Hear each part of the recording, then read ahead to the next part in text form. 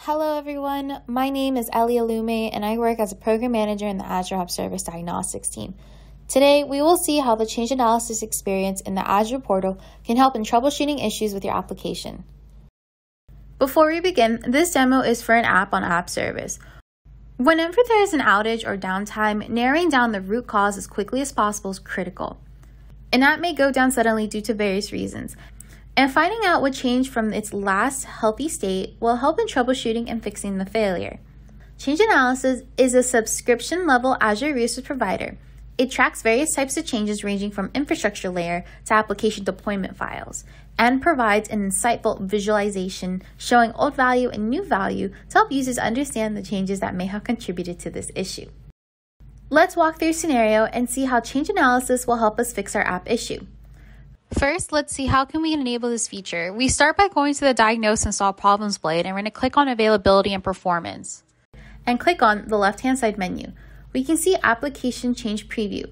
And once we click on that, we are taken to the Change in Details blade. By default, we can see change data from Azure Resource Graph and Azure Resource Manager proxy changes. It also shows us the related resources and the options to see all the resource changes in the subscription. File and configuration tracking can be enabled here and upon enabling this, change analysis captures the deployment and configuration state of an application every four hours. It can detect, for example, changes in the application environment variables. For this demo, let's take a web app which has already has the setup done. Here is my web app and we can see it's currently in a healthy state, but now browsing to the app, it's giving us an error. Let's open Change Analysis Blade to see what changed. On the Diagnose and Solve Problems blade, we're going to click on the Availability Performance and on the left-hand menu, click on Application Changes. Right away, I can see that an app setting connection string was changed recently, which is causing the user error. This view clearly gives us the difference between old value and new value with the timestamp of the change. So let's try to fix this and give it a try. We're going to go back to your web app dashboard and on the bottom left hand corner, click on configuration. Here is where I can make the fix to my web app. I'm going to select the edit icon and edit the string in the value section. Once I fix that, I'm going to go back and save the configuration. So now let's go back to your web app and refresh the page on the browser. And we can now see it is up and running. Now let's go back to the Azure portal. You can find changes for other resources supported by change analysis by typing in application changes. Here is where you can find it on the top.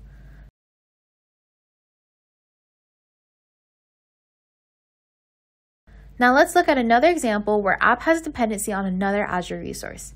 In cloud environments, apps do not function in isolation and are often dependent on another Azure resource. The health of the dependency can affect the availability of the primary app as well.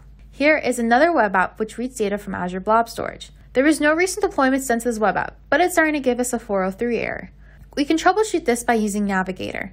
Let's open the Diagnose and Solve Problems blade from your Azure Resource dashboard and click on Navigator tile. Here we're going to see a dependency graph showing the Azure dependencies of the app. When we click on Navigator Storage, we can see the recent changes here. We find that the firewall settings have been modified recently, causing failures from the web app. As a developer or an SQL Server admin, I can easily fix this because I know where the problem is happening. This is how Change Analysis enables you to track changes made to your Azure resource and helps you in troubleshooting issues. To summarize, first you may enable change analysis or navigator on your app by going to the diagnose and solve problems blade. Second, you can use change analysis to see various types of changes. And third, you can view Navigator to investigate recent changes to your app and their dependencies. We hope you like this video and thank you so much for watching.